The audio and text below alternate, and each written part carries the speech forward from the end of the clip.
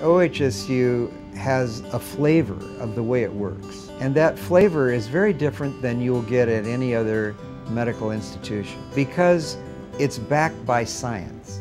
Being part of that university, having access to these clinical trials, having access to research, it really allows us to offer options that a lot of hospitals might not be able to offer. We are leading the efforts to create a subspecialty for everybody in the US and Canada. The way we do it here is the way that the American College of Cardiology wants to use as a model for the future.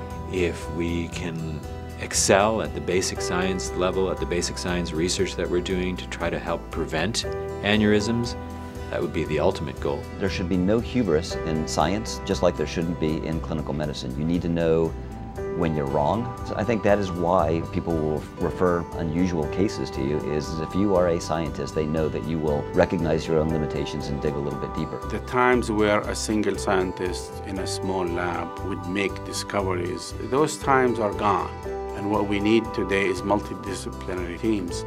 There's no place that I've been to where physicians and scientists can so seamlessly work together as they do at OHSU. The reason we're at an academic medical center is that we want to be able to make that kind of contribution to the field and push the field forward. I'm always wondering what's next? What more can we do? How can we move the envelope? How can we provide the next generation of care that addresses the underlying cause for the disease that we're studying? We brought together members of those teams who have very disparate backgrounds because unique perspectives that challenge the convention are important. Once we can put multidisciplinary people around the table, the project that they're going to build to address an important scientific question is bound to benefit a human life.